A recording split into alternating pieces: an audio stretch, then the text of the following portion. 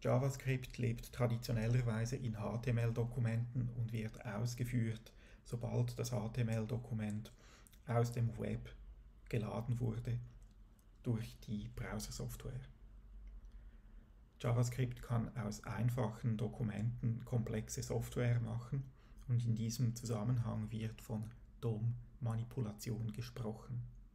Und diesen Begriff möchte ich etwas erläutern. Es ist eine Abkürzung und sie steht für Document Object Model. Einerseits ist es eine Technologie, die wir mit JavaScript und der Browsersoftware benutzen können. Andererseits ist es eine Art, HTML-Dokumente abzubilden oder zu verstehen. Zur Repetition. Ein Objekt ist ein Datentyp in JavaScript und hier ist so ein Objekt abgebildet und es wird einer Variablen MyThing zugewiesen. Bevor ich sage, aus was das Objekt besteht, kannst du vielleicht schnell pausieren und selber überlegen, was das ist. Objekte sind Datensammlungen und sie enthalten Eigenschaften oder Namen und diesen Namen sind Werte zugeordnet. Also hier habe ich die Eigenschaften foo und bar und zugeordnet sind eine Zeichenkette hello und eine Zahl 23. Und diese Eigenschaft Wertpaare werden durch Komma getrennt. Ich kann diese Werte ansprechen, indem ich die Dot Notation, die Punktschreibweise verwende das Objekt wurde der Variablen myThing zugewiesen und dann kann ich schreiben myThing Eigenschaftname foo und dann kriege ich den Wert, der diesem Namen zugeordnet ist. Und wenn ich sage myThing bar, kriege ich die Zahl 23. Und noch etwas, was wir anschauen müssen, bevor wir herausfinden, was DOM bedeutet, ist ein wichtiges Prinzip in HTML. Hier siehst du einen HTML-Fehler.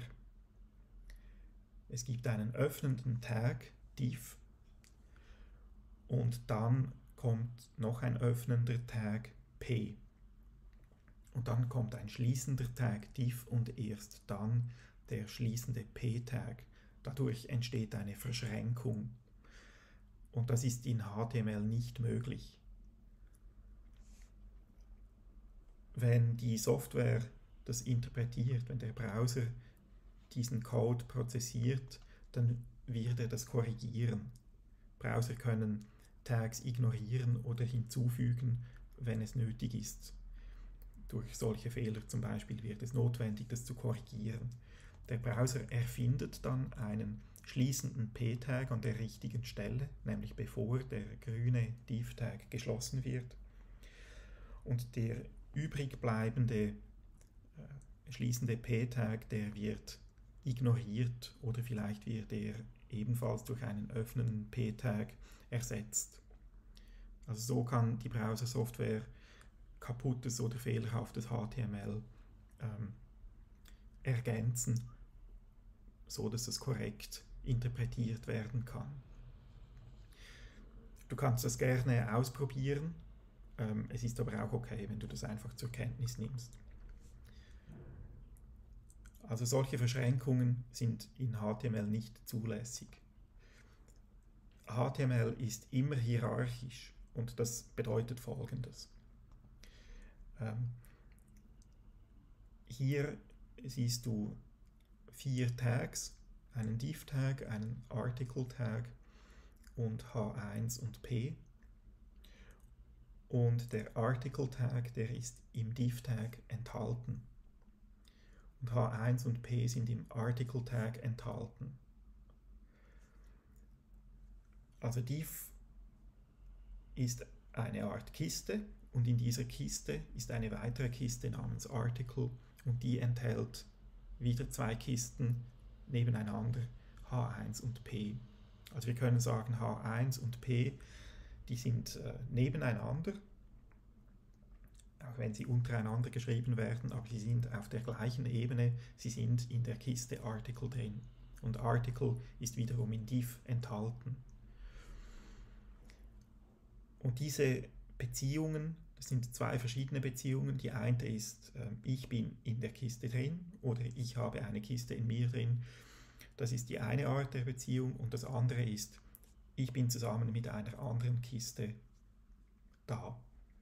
Also H1 existiert neben P. Aber H1 und P sind in Article drin und Article ist in div drin. Das sind die möglichen Beziehungen in HTML, die einzigen. Und die haben Namen. Hier siehst du die Beziehungen als Pfeile abgebildet. Ähm, ein Tag, der andere Tags enthält, der wird als Parent bezeichnet. Und die Tags, die in einem Tag drin sind, die werden als Children bezeichnet, also Eltern, Kind. Das ist eine Kiste, die andere Kisten enthält. Das ist die Elternkiste und die Kisten, die drin sind, das sind die Kinder. Und wenn mehrere Kisten nebeneinander stehen, wie vorher der H1 und P-Tag, dann sind das Geschwister. Das wird als Sibling bezeichnet auf Englisch. Also noch einmal zurück zu diesem Beispiel. Diff ist der Parent von Article und Article ist Child von Diff. Und Article ist wiederum Parent von H1 und P. H1 und P sind die Children von Article und H1 und P, das sind Geschwister, Siblings. Und jetzt kommen wir zu dem, was mit Modell gemeint ist, wenn wir Document Object Model sagen. HTML-Dokumente lassen sich als Baumdiagramm abbilden und verstehen. Hier siehst du die ganz grundlegenden Tag, die in jedem HTML-Dokument vorhanden sein sollten, nämlich HTML, Head und Body. Zusätzlich gibt es auf der ersten Zeile meistens die Deklaration des Dokumententyps. Das Dokument sagt, hallo, ich bin HTML, bitte prozessiere mich entsprechend. Aber das eigentliche Dokument, das ist im HTML-Tag enthalten. Das ist der, der übergeordnete Tag des gesamten Dokumentes und wird hier pink eingefärbt und wenn wir versuchen, diese HTML-Struktur als Diagramm abzubilden, dann können wir das in solche Knoten übersetzen. Der pinke Knoten, das ist der Parent und seine zwei Kinder, das sind der Head-Tag und der Body-Tag. Und so entstehen, äh, entsteht eine Verzweigung. Und der Head und der Body-Tag, das sind Geschwister. Und jetzt sind im Head-Tag wahrscheinlich weitere Tags drin, zum Beispiel ein Meta-Tag, der den Zeichensatz beschreibt, der hier zum Einsatz kommen soll, um alle Texte korrekt zu rendern, oder der Title Tag, der den Titel des Dokuments enthält, der dann vielleicht benutzt wird, um den Tab zu beschriften im Browser. Das sind wiederum Siblings und das sind Children von Head und die lassen sich wieder als solche Zweige abbilden, die aus diesem grünen Knoten, aus dem Head-Knoten entspringen. Und der Body enthält sicher auch Tags, zum Beispiel einen Kopfbereich, einen Hauptbereich und einen Fußbereich.